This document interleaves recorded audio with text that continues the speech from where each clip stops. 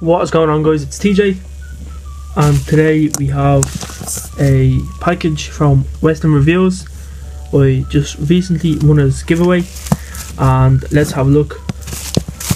Okay. I'll just put the packaging away. There it is. In bubble wrap.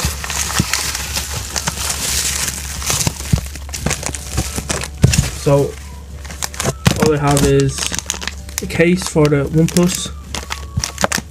Right here as you can see. Decent case. Uh, I don't think I'll be doing a review on this case to be honest. But I will be definitely doing a review on this.